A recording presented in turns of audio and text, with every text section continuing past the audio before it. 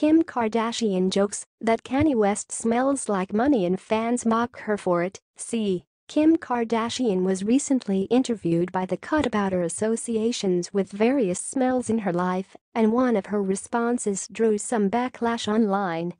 After she was asked what her husband Kanye West smelled like, Kim responded, rich. I can't explain it, but like a rich person laughs. Like, money, I don't know. He smells like what you think a really expensive St. Laurent fragrance campaign would be. Needless to say, some fans had some thoughts about this.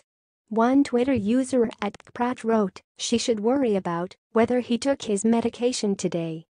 Another fan at GENEA22860 wrote, I will never be able to smell my money again.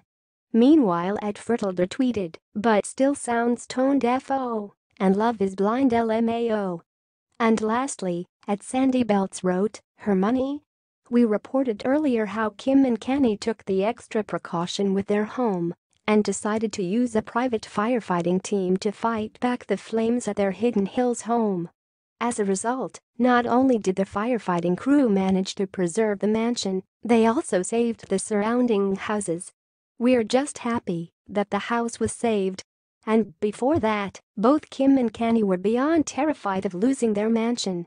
Kim is most concerned with the safety of her family especially after the whole Tekashi drama, a source close to Kim told Hollywood Life exclusively. A lot of things are on Kim's plate right now, but material things aren't one of them. The safety of her family and neighbors and first responders is definitely on her mind. We'll keep you posted with all of the latest news about Kim and Kanye. In the meantime, check out their hottest pictures together in our gallery above.